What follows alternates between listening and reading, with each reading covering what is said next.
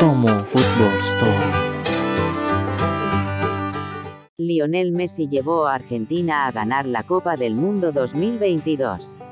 Qué suerte tiene Argentina de volver a tener un gran talento después de la era de Diego Maradona. Argentina vs Francia se disputó en el Lusail Stadium en la final del Mundial Rusia 2022. El partido estuvo reñido hasta el final. Apretado marcador 3 a 3 hasta el final de la prórroga. Los goles de Argentina fueron anotados por los dobletes de Lionel Messi y Ángel Di María. Todos los goles de Francia fueron comprados por Kylian Mbappé. Al entrar en la tanda de penales, Team Tango asegura una victoria por 4 a 2. Después de 36 años, Argentina volvió a ganar la Copa del Mundo. Lionel Messi es la principal estrella en la Copa del Mundo 2022.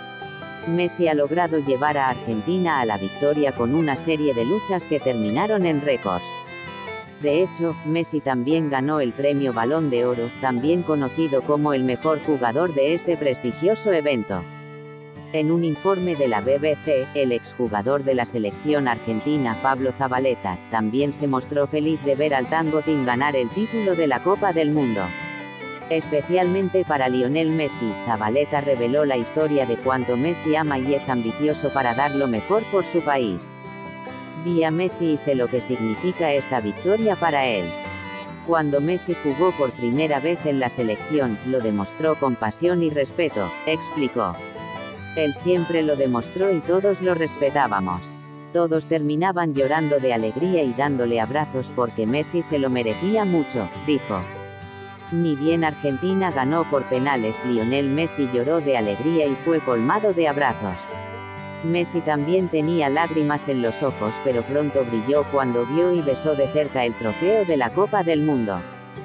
Cerró Pablo Zabaleta, sintió que la Argentina era muy afortunada. Hay dos de los mejores jugadores de todos los tiempos con trofeos de la Copa del Mundo, antes Diego Maradona, ahora Lionel Messi. Maradona y Messi, los dos mejores jugadores de todos los tiempos con el trofeo de la Copa del Mundo que ganaron. Eso es algo extraordinario, somos muy afortunados los argentinos rojos, concluyó.